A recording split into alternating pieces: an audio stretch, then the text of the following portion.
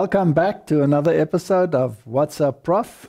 As you see, today we are turning the tables. I'm doing the introduction because my young friend Martin is going to give his testimony. We finally twisted his arm and got him to relinquish his resistance. So, Martin, are you ready? Yes, let's go. Let's pray. Heavenly Father, it is always a privilege to hear how people find you. And I pray that it will serve as an incentive for others to seek you too and to find you in Jesus' name. Amen. Amen. Well, Martin, today you are trapped and you cannot get away with it any longer. so you will have to tell us about your story and how you came to believe what you now believe. And how long ago was it? Well, I grew up on a farm. My parents divorced when I was about six years old. Then we stayed with my father and on the farm, his brother, my uncle, and my grandparents. So I grew up in this very loving family on the farm. And we had a good relationship with my mother as well. And we are never actually, at, when I was small, young, we never went to church. Um, we were, the, my uh, grandparents were believers, especially my grandmother, but my grandfather and my father and my uncle were not um, church going. They had their reasons, and my mother was quite religious.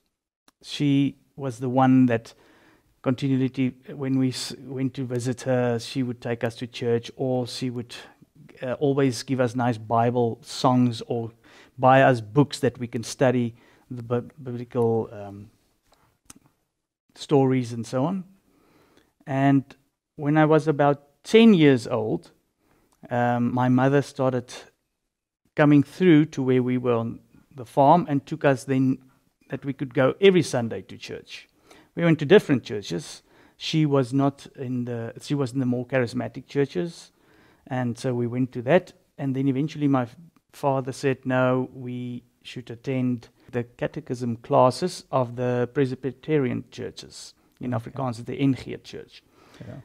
And the school had a hostel, and the hostel children also went had cla- uh, this catechism classes, and that was during the week.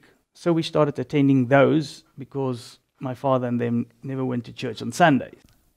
I now, used you were conservative, but mm-hmm. your father never went to church. No, so my father never drank or smoked or anything did like he, that. Did he speak religion in the home at all?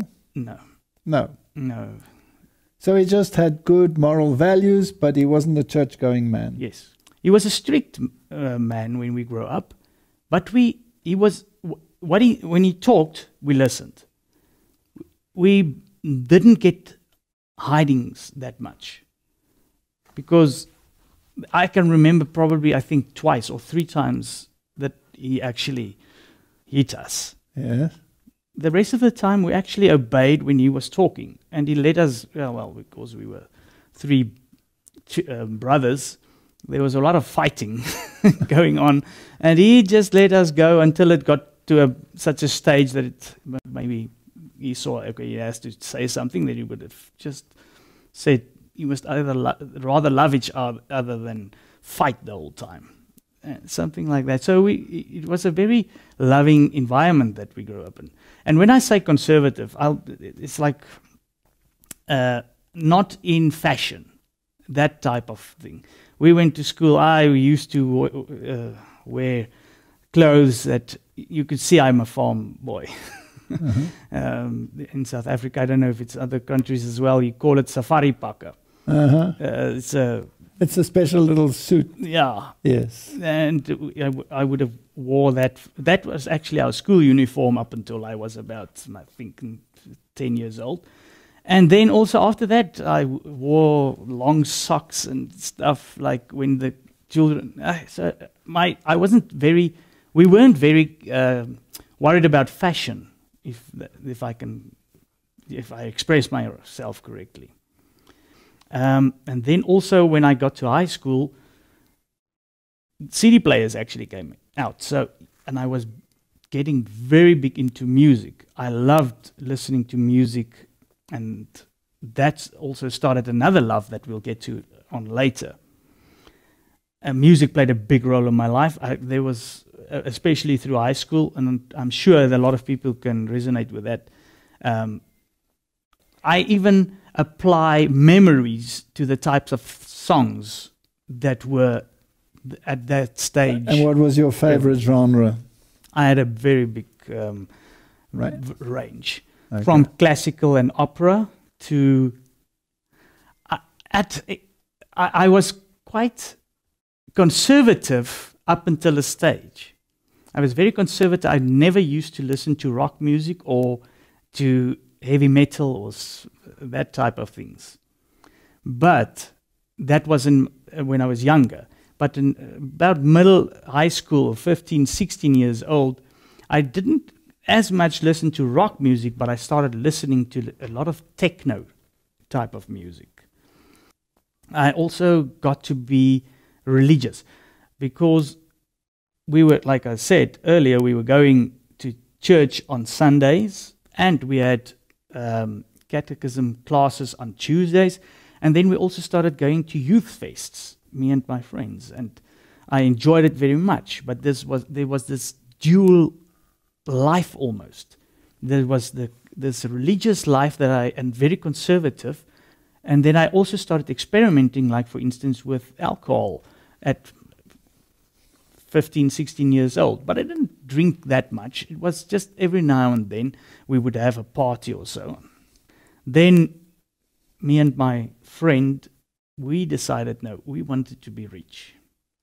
And we looked at some jobs that were available and that people made a lot of money in. So we decided, okay, we'll become chartered accountants. That looked good, and we I really enjoyed accounting and so on. Things didn't actually work out as we planned, and my friend went on to the university um, of, in, in Pretoria, and I had to go and work and study through UNISA. That's a um, Distant Learning University. distant learning university. And then my life changed drastically because I wasn't in the restricted and conservative milieu of how I grew up. And it was quite easy to get alcohol and parties was nice. And I was also always an outgoing person. I, I loved having parties, even though we didn't always. And in school, like I said, we started having parties, dance parties, when I was 10 years old already, me and my friends. I loved dancing.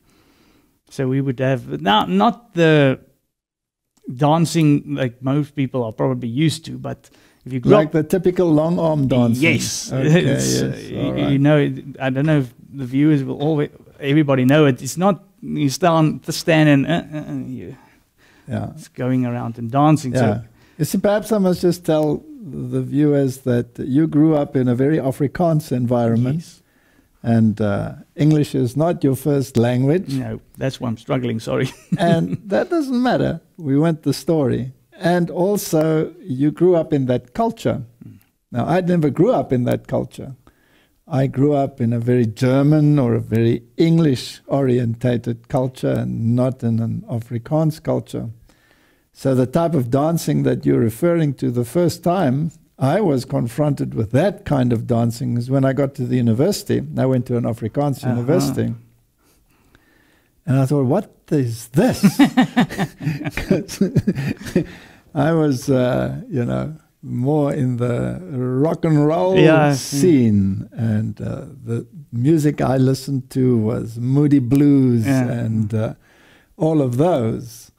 Well, the Moody Blues were my favorites, but I didn't mind things like the Rolling Stones. I was never a Beatle fan or anything like that, but uh, more sort of the spiritual, weird music. Mm. which is actually, you know, very demonic. Yeah, yeah. And then I got to university and they had this, this long arm dancing. And, you know, my feet just wouldn't do anything like that. So this is what you grew up with. So I know exactly what you're talking Yeah. about. It's like barn dancing. Yeah. You can actually call it Yeah, it's like a kind of barn, barn dancing. dancing. yeah. And we always went to that. So that's how I grew up. And I, when now, when after I got to live in the city and had all this freedom, the dancing changed a bit uh-huh.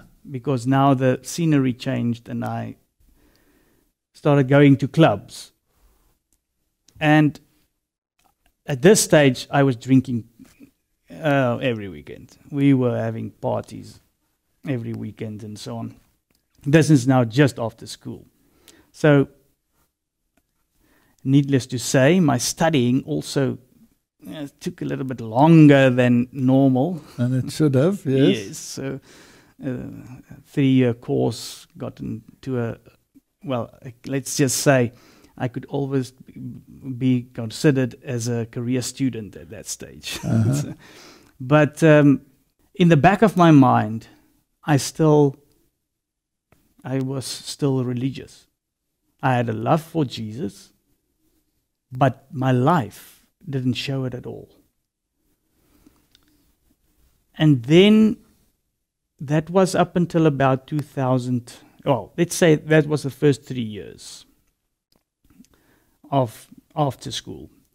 And then it even got a little bit worse because the clubs that I used to go to, I was just around and we were having a good time.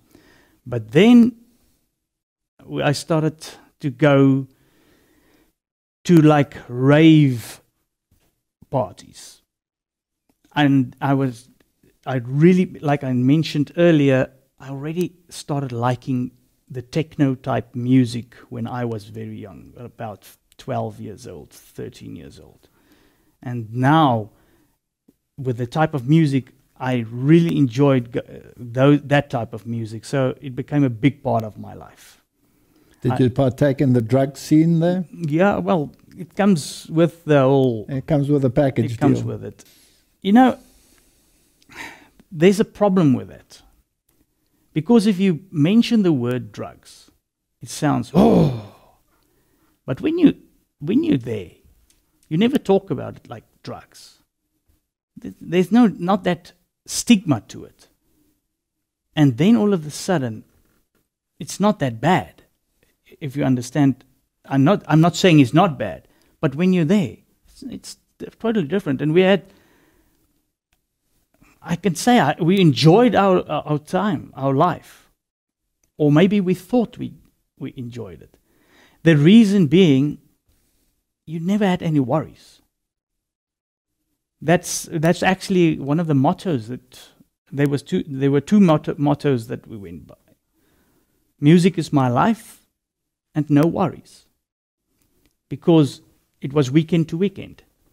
You had Friday evening, you had a you knock off work, half past ten at the evening the party starts at the club. You go right through the club closes probably at seven o'clock the next morning, then you go back home, you continue your partying. Saturday evening, maybe if you're tired, you go to sleep. Otherwise, Sunday morning you go, so you go right through till then. And then you recoup up until Tuesday. So the first two days at work is not that great for the boss, but he never knew it. And then by Thursday, Friday, you're back at it again. That was my life for about five years. Then I met a girl who knocked my feet Out from under you. Yes. And I actually met her on, on the on a beach New Year's party. She was the friend of my best friend's sister. And we had a good time, but then nothing Nothing much- materialized. no, nothing materialized. That was the, like I said, December. The next year, she actually invited me out of the blue to go to her school farewell. So I went, but nothing Nothing materialized. materialized again. again. So the next year, she asked me to maybe. At this stage, I was. I must maybe just mention this. I was a DJ. So weekends you were a DJ. Yes. Well, Yeah. but th- now I have to qualify this because I was a DJ in the barn dancing s- hmm. scene, but I was also a DJ in the trance techno rave scene. So she didn't know that part. She knew I was a DJ for the barn dancing, and she, she invited me to play for her sister's 21st birthday. And I decided, okay, but this time she's not going to get away. So I asked my brother to come and help. So he could do the music and I could sort this thing out that it doesn't slip out. Slip out from under you again. yes, again. again.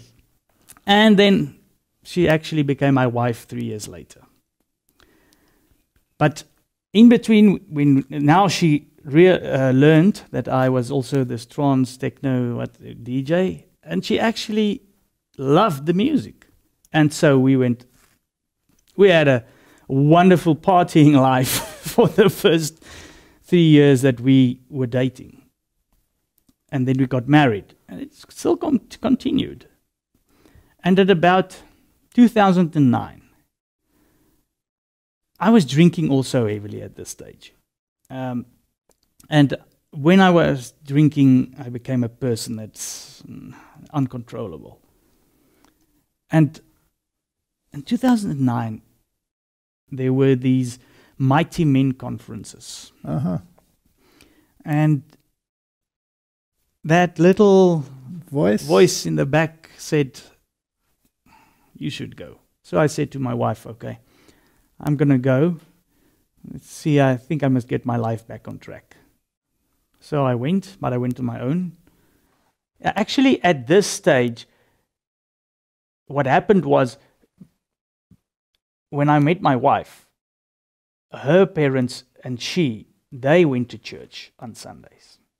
So I started attending a little bit church more on those days, and then eventually, when we got married, we got married in her church, which is the Reformed Church, and that led up to where I had to decide that I, I had to get a, a, my relationship back with God, with Jesus, with God.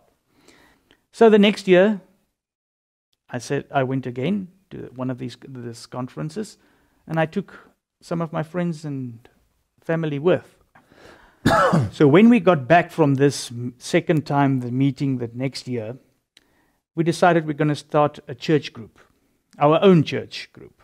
Me and my wife were going to church on Sundays at this stage already. We went to a non-denominational church, um, charismatic, and then on Wednesdays we had this group that got together. So at these meetings on Wednesdays, we were watching a, quite a variety of material on conspiracies, on the Sabbath, on who the Antichrist is, and so on. And I remember we had one DVD that handled the Sabbath, and I was quite convinced. And I said to my wife, This is very good material, and so if it- should be the Saturday, I don't have a problem with it. If the Bible says so, then that's that's the way it should be. Along with this DVD and material that we saw about the Sabbath, there was also another ministry called Authority in Christ Ministry. And they had a DVD on the Ten Commandments that were still applicable. Uh-huh. So we actually studied this one. But this, this ministry said that although the Sabbath is on the Saturday, you don't need to adhere to it strictly. You can still go to church on Sundays, worship on Sunday, or any day for that matter. But as far as it's in your capacity, you can keep the Sabbath and refrain from work. Do it, make it an enjoyable day. So this is the route that we actually started to follow a little bit more. I actually took the Sabbath DVD one Sunday with to my pastor and handed it to him, and he said to me, um, "Is it from the Seventh Day Adventist?" I said, "I don't know, but the material is very good. I would like you to tell me what you think about it." And he said, "Oh no, it's uh, if it's on the Sabbath, we can worship on any day." And so we left it there. That was in 2010. Fast forward four years, me and my wife were living on the farm again. In the meantime, my uncle, my dad's brother, and his family started going to church with me and my wife Uh-huh. on Sundays at this charismatic church. But now there was also a family friend that started having Bible studies with my uncle. And they invited me and my wife to do these Bible studies with them. But they told us that this family friend wasn't Seventh day Adventist. So I said to them, Look, the Seventh day Adventists have got, they say that the Saturday is a Sabbath, which I totally agree with. But that's as far as it goes. The only th- other thing that they want is to get you into their church. So I, I, I'm not interested. So they nagged me for a few months. In the meanwhile, I started studying to disprove everything that the Seventh Adventist Church says, except for the Sabbath. And also their interpretation of the Sabbath, I also wanted to debunk. So I really started digging. Even went to the pastor of our church and discussed some of it with him. And he gave me some answers. And so I started to build up quite a knowledge base of how to, Counteract Adventist doctrine. yes.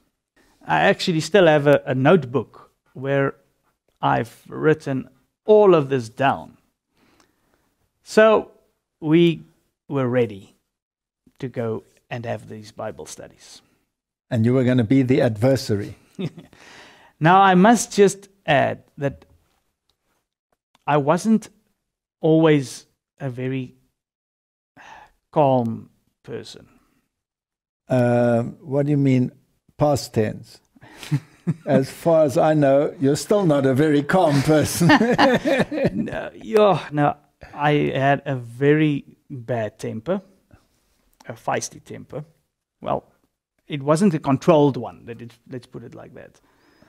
And um, I enjoyed getting into a argument.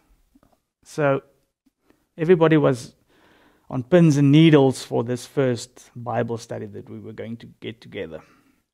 But the Lord prepared my whole life me for this first Bible study. And that I only realized after it, afterwards, later. Because everywhere there was some point in my life and in our studies up till then that he touched on. In that first Bible study, only one Bible study. And the main point was when he started to show us in Daniel who the Antichrist was. Like I mentioned, we were already studying a lot of these material, but it was from different Different sources. sources. And now it started to get together here, and it made sense. So that's why I couldn't argue. Actually, we was agreeing on a lot of things. And that made me think. And so we said, okay, we'll come back for the next Bible study. But I think, if I remember correctly, on the that evening, he, the family friend, invited us to a seminar that would be presented by an ex-Catholic, because he now saw that I really found this Bible study interesting. So he invited us to this, but we weren't interested at all.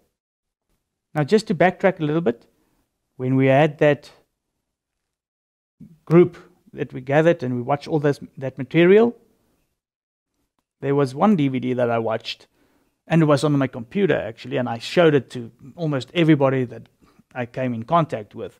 Was um, a DVD by the name of um, Islamic Connection, And I was watching this DVD quite often, showing it to everybody. And then I decided after this first Bible study, no, I have to show this DVD to my uncle and his family.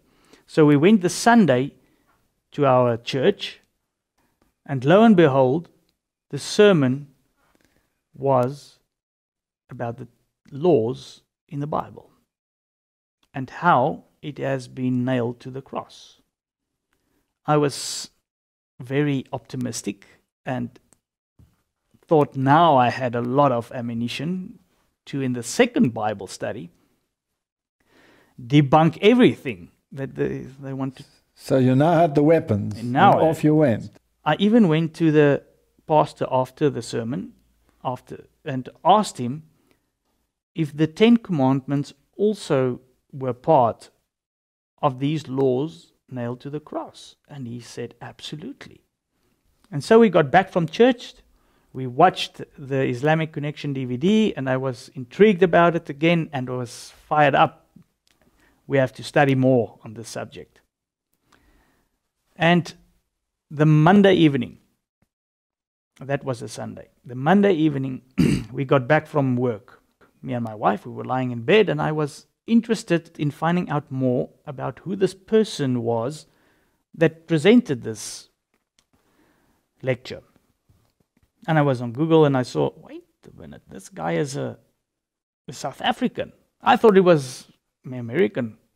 And I saw, oh, his name is Walter Veith. I said, okay. And suddenly, something told me to ask this family friend who was doing the Bible studies who this person was that was going to give the lecture at the church. Uh-huh.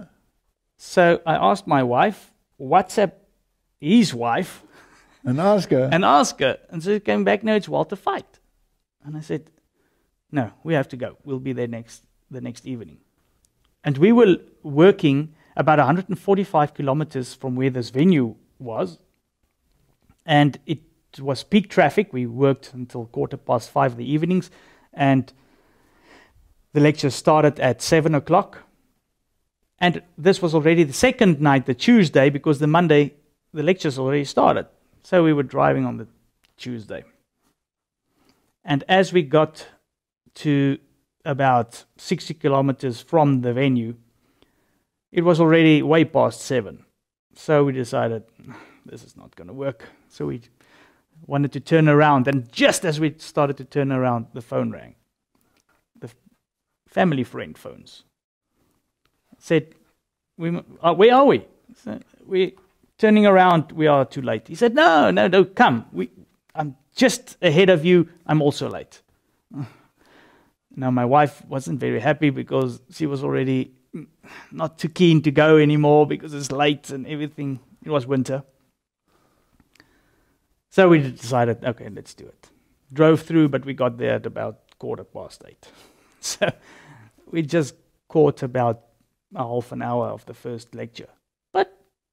In that first lecture, all the questions that we had for that evening were answered.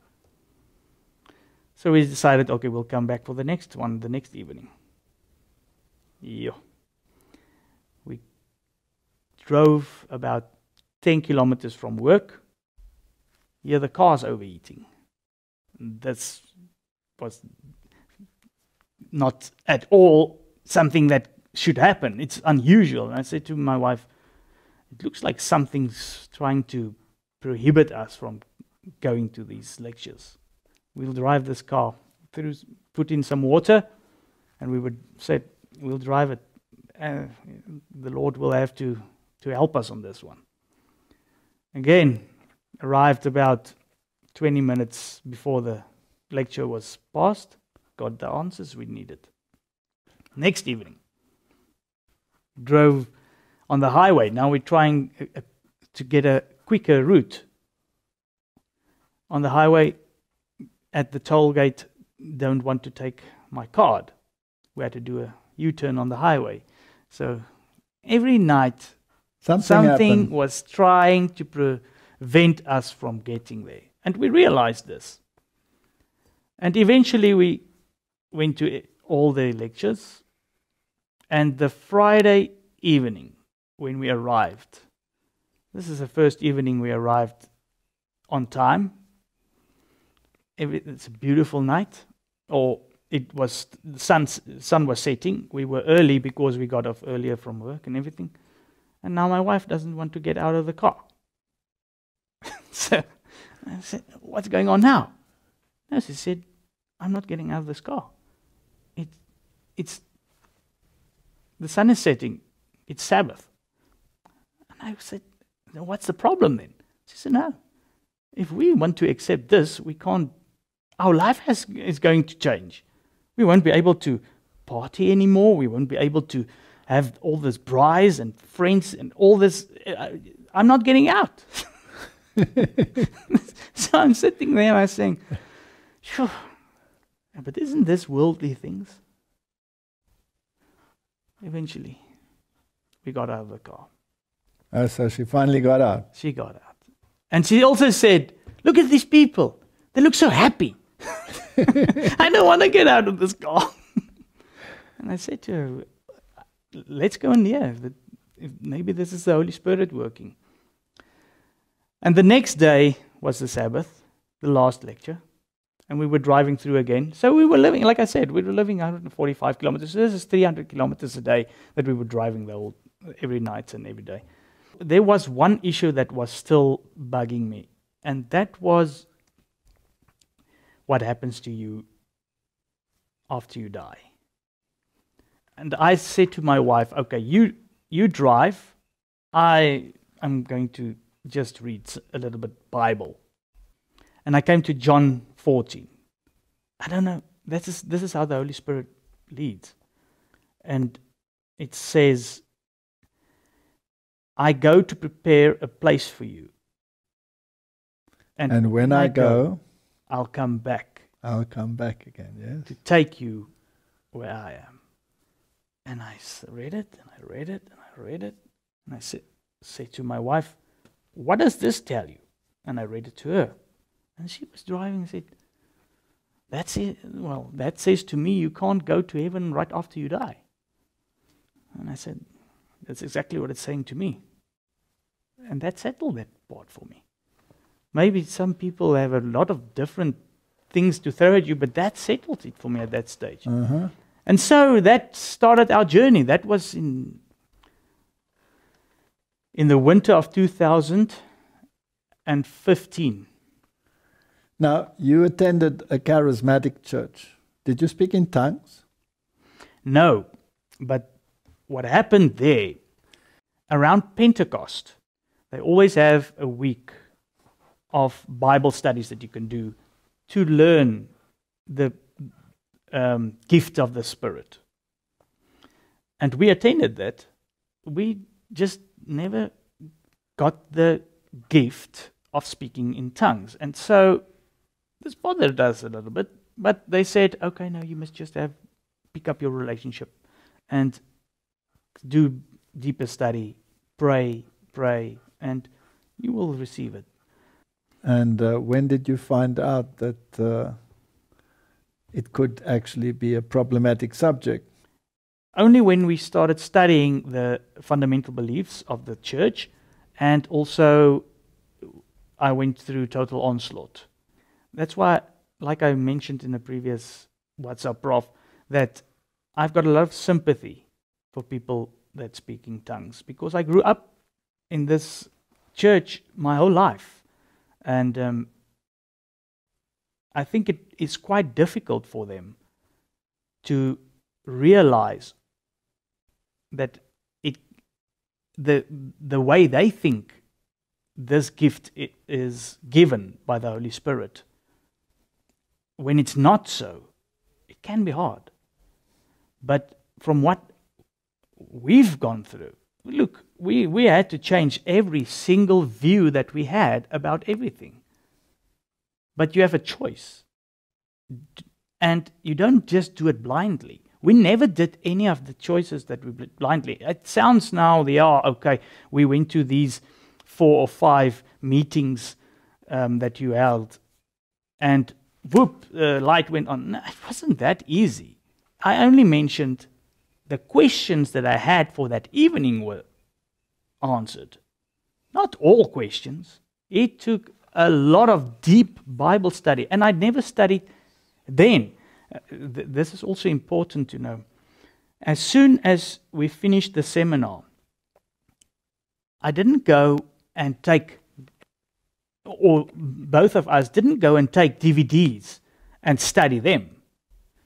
We went to the Bible. I really started studying all the, fu- the fundamental beliefs of the Seventh day Adventist Church for myself in the Bible. I didn't use uh, other preachers to tell me what it said. Especially, I, re- I remember very clearly the 70 weeks prophecy. I studied it, and then in every, because it, bug, it, it, it bugged me. Okay, but the calendar has changed. So, how can it be still a prophecy if you use the Julian or the uh, Jew, Jewish calendar and all of these different calendars?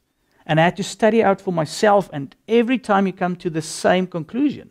And that made me 100. So that's why when somebody wants to argue on the 70 weeks, it's not about somebody else telling me. I really studied it out for myself in the Bible.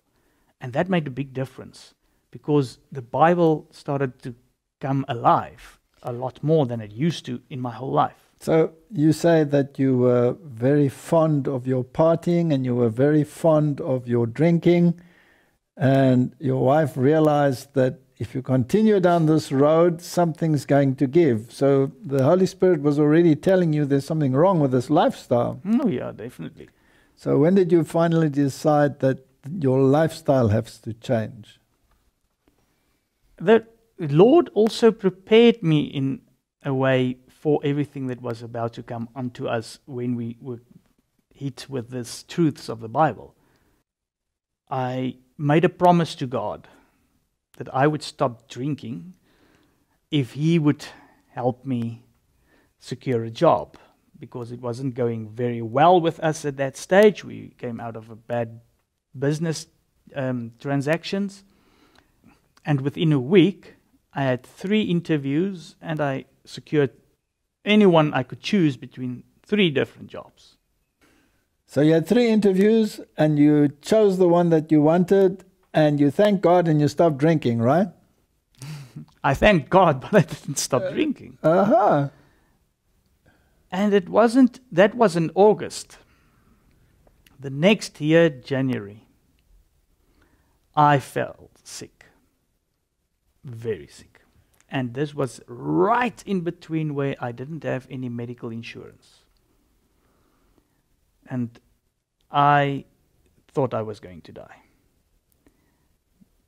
And eventually it turned out because I went to doctors and they said, No, I've got bad kidney infection and I've got bad um, urinary tract infection and all this type of things. And they gave me medicine, and antibiotics. It didn't get better. Eventually, it came out that I had very bad kidney stones that were blocking and everything. Okay, so a long story short, I had to get surgery in the end. And while I was recovering, I d- realized maybe I should now stop. Maybe this was just the Lord's way of telling me, you had your chance, don't blow it. Okay, so was this before the lectures that you attended or yes. after? Oh, so you were already on the road. And but your diet did that have to change? Yes, um, amazingly, what happened was I couldn't drink any coffee any caffeine for that matter, any energy drinks, as soon as I drank anything like that, my kidney would kill me. The same with a lot of these things. Alcohol, forget it. I, I actually, okay, what happened was I, I, I decided, okay, if I were, could remember correctly, I think I made the deal with God that I only drink red wine. no other alcohol. The worst one. yeah. And whenever I drank that, yeah, this kidney would kill me. Anything that was not healthful or that in the least. So eventually I started drinking uh, decaf coffee. And after about two months, even the decaffeinated coffee, my kidney would kill me. I couldn't sleep at night. And whenever I didn't, there were no, I didn't have any problem. And so this started. But another thing that happened in that same time, I used to play TV games. Since the first TV games came on the market, we had TV games right from I was about 10 years old right through till that, that time. And I was sick. And then, whenever I had a fever most of the time because of this kidney. And whenever I felt a little bit better, I would go and sit and play some TV games. Yeah. Within minutes, I wanted to die. And eventually, I started realizing I can't play these TV games. And I actually went to my cousin, I remember it very vividly, and I said to them, We'll have to sell all our TV games. We can't play this nonsense anymore. Well, uh, every, all these violent TV games, you know, like shooting games. So you think it's because of your adrenaline rush that you had I, this kidney pain or whatever? I had no idea, but because we were going to church and all this, I thought this was a message from God telling us get rid of this nonsense. So that prepared me. And when we started doing these Bibles, and this was all before we were doing any of these Bible studies. Now we have to get to a very important part Ellen White. That must have been a bone of contention. Yeah, what? Uh, it was interesting. I had a discussion with somebody, and they were telling me, yeah, when we were speaking about the Saturday Sabbath and the Adventist Church, and we want to become, they said, all, all they do is they, they worship Ellen White. And I can clearly remember I said, Who's Ellen White? I don't know who this person is. And they said, No, don't worry, you'll see. It's, the, it's all her doctrines that the church follow, and that's what it's based upon. And I said, Okay, but I nothing from what I've studied the 70 weeks, not one of these studies have I ever heard of her, and I got all the things that I studied out of the Bible. All the answers, the state of the dead, all of this, 100%, and it's not uh, that I watched sermons I did the Bible study on my own, and I so this was not. I couldn't understand what was going on, and so the Ellen White issue was a bit problematic for me because I didn't study any of her materials, and then I asked the family friend, and he also didn't actually study any of her materials. And like I said previously, none of the decisions that I made or anything that I studied had I any of her material studied all the things that I got out of the Bible. And eventually, I started reading one or two of her books. And the rest is history. I will encourage any person that has a beef with Ellen White to read one of her books. Absolutely. Pick up Desire of Ages, pick up the great controversy, pick up Patriarchs and Prophets, and read it. And after you've read it, make your decision then. I yes, can't make she doesn't dictate the Bible. The Bible dictates what she says. I, and I've said it time and again because there's a lot of contention about her. If you have a contention with her, you haven't read one of her books. Don't go and read a statement here and a statement there and something that somebody else tells you and oh but she's got a obelisk on a grave i'm sorry and the, and besides the drinking and all of that the rest of the lifestyle issue after we the lord must have been very prevalent in helping us in this whole thing because it just fell away it just fell away but it was hard because friendships got ruined because the first time we got um, baptized in November, and we usually, I was the one organizing the New, Year, New Year's parties. And this specific year, we didn't even go to one, and everybody was asking us where we, why aren't, aren't we coming, and everything. And we said, and I, I had to straight up say, I see. So that put an end to that little celebration. You know, this whole issue of celebration is such a, a bone of contention. I mean, it's not just the New Year that falls away. There are other festivals that Christianity keeps, mm, you know, like Christmas, Christmas, and Easter and Easter bunnies and all of this stuff. And uh, what was your reaction towards all of that? Christmas was a big thing in our family.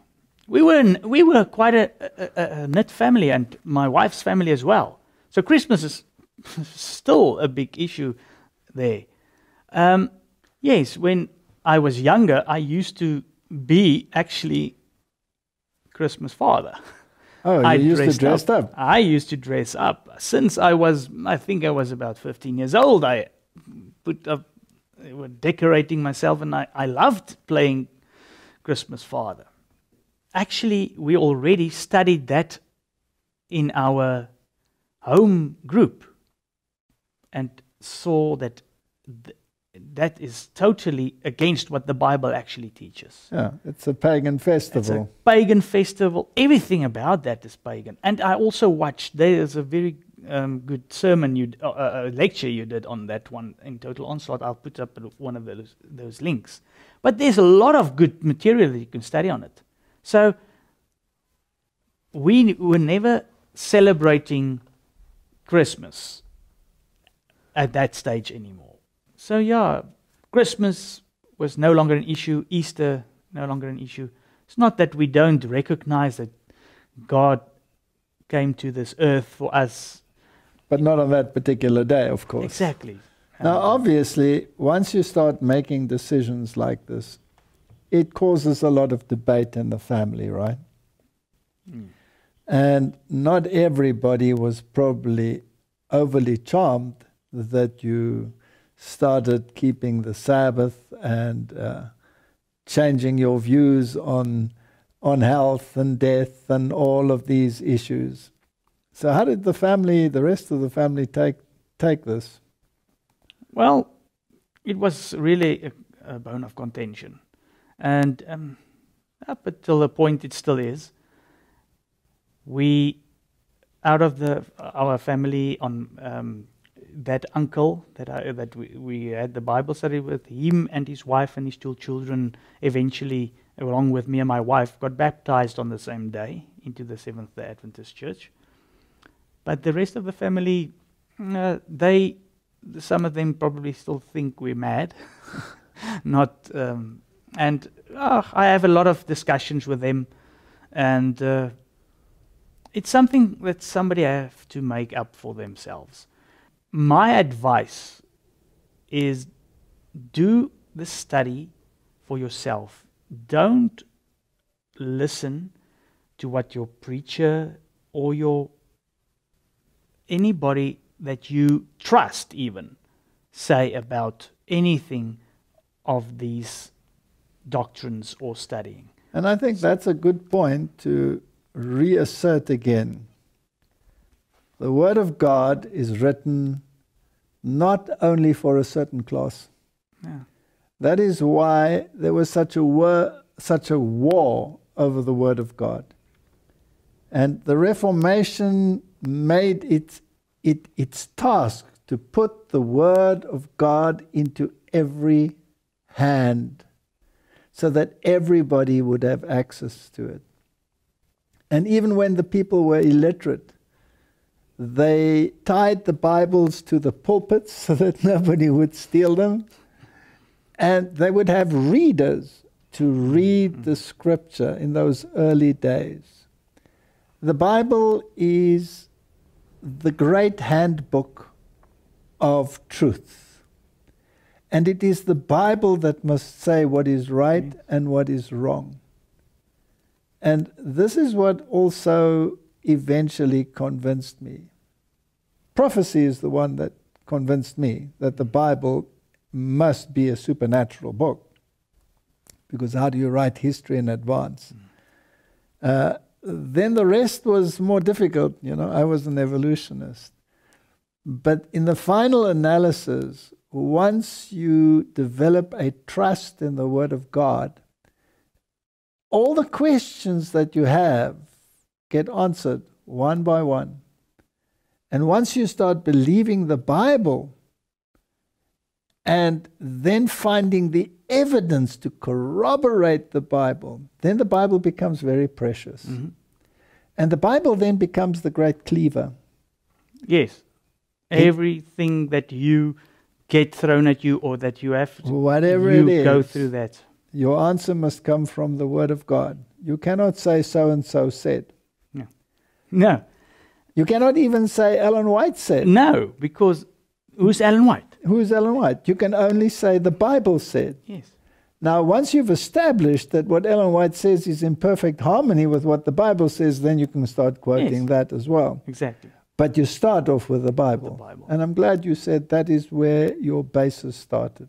Eh, with everything, every time I read Ellen White, I still go. You, you'll whenever you read a book of hers, she the whole time quotes the Bible. Yes. So keep your Bible with you, next to you. In fact, once you start reading her and you read the verse in the Bible again, it just jumps out at you and has so many new dimensions to it Yeah. that uh, it is like a magnifying glass, Definitely. right? So, yes, I'm convinced as you are that the Bible is the standard for everything in life. And the Bible is the ultimate standard of truth. Hmm. And where the world differs from the Bible, it's not the Bible that's in error, it's the world that hasn't grasped the length and the depth and the breadth of what is written Yeah. there. That's true. And just to make it clear, not one of the decisions that we had to make was easy. And ridicule on every side. I mean, your whole world turns uh, upside down. And people think that it's just a phase or maybe A passing phase. a passing. Let me be, make it very clear. Without God, there's no way you'll do those changes. No, you won't. It has to be the help of the Holy Spirit changing you from the inside, along with your willingness to be changed. Yes, that's what it's all about. And that's also important because when we eventually were baptized and became Adventists and started this walk, it's also not easy inside of the church.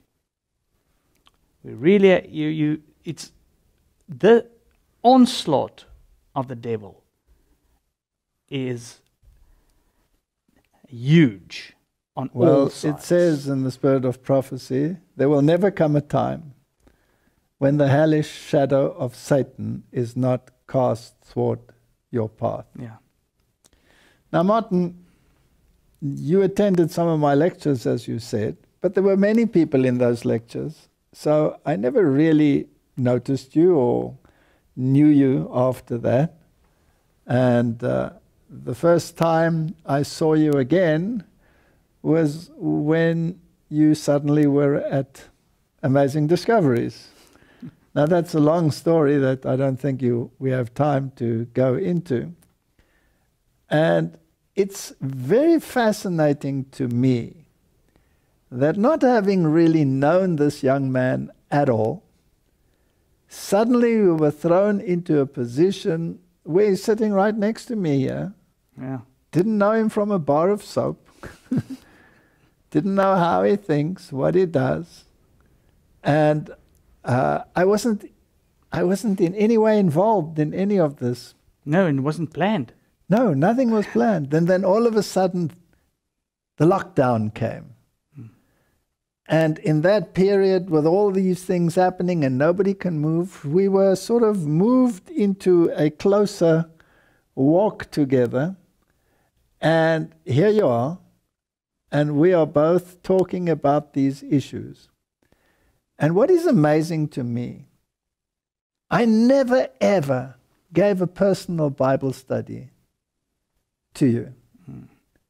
And yet, whether it is a question of lifestyle, whether it is a question of doctrine, whether it is a question of the spirit of prophecy, or any other theological issue, I find it amazing that God can so arrange the circumstances and the minds of people that even though we are totally different people, we have exactly the same faith, exactly the same beliefs, exactly the same goals.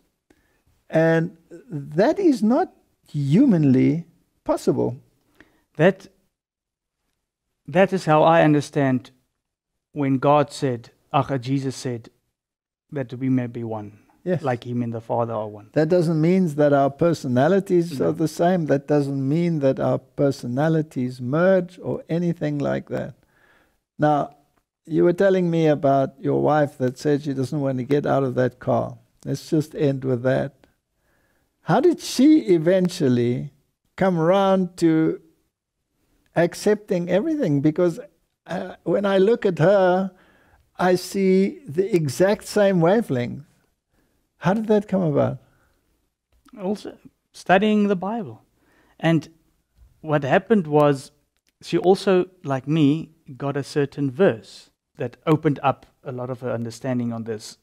Where I didn't have so much a problem about the Sabbath, but more on the state of the dead, she was a little bit more stuck on the on the Sabbath.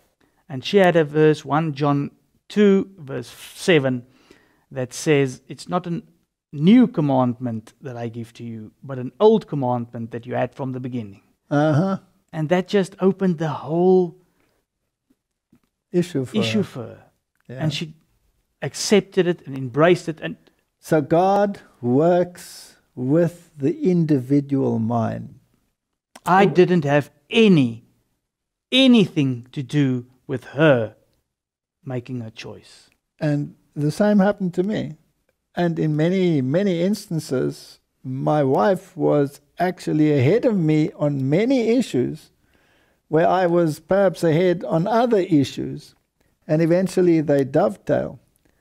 And I still remember in our life that the parents in law accused her of being indoctrinated by me. Yes, we had this. Well, they never said it i- i- with to us, but I could get the the vibe Yes. that they were thinking I'm influencing her, yes. and that's why sometimes I always say to her, just go and visit or uh, tell and, and tell people your story that they don't think I was the one that influenced you. Well, there was an occasion where my wife, by circumstances, went to my parents in law for a week without me. yeah, And uh, I mean, there was quite a distance between us, and they grilled her and hammered her. this was their great opportunity. and to their utter surprise, they realized that this was not my faith, this was her faith. And uh, she could not be moved. So, when the Holy Spirit works, He works through the Word of God. And the rest comes with the package. And eventually, if it's all in harmony and you incorporate it in your life, it's very liberating. Well, thank you for your story. I think we must thank God that He still works with hearts and minds wherever you are in the world. And the great standard is this book. This book, the Holy Word of God. And this is the great standard whereby all issues must be judged. Shall we close in prayer? thank you. Heavenly Father, once again we want to thank you for calling people to the throne of grace. What a privilege to know that we who are so undeserving, and as all humanity is in the same boat, we can all come to this point of realization that our salvation lies outside of us, and that the God who became a man in order to pay the price for us has never changed. He is the same yesterday, today, and forever. And his gospel of salvation has never changed. Thank you for raising up a movement that sets these doctrinal issues in right settings and harmonize them with the entire history of humanity and the Word of God. Bless the listeners, bless each and every one of us as we study the Word to come into unity of the Spirit, is my prayer in Jesus' name. Amen. Amen. Thank you for watching this video. To subscribe, click here. When the bell appears, click again to get notifications. To watch the next video, click here. Thank you.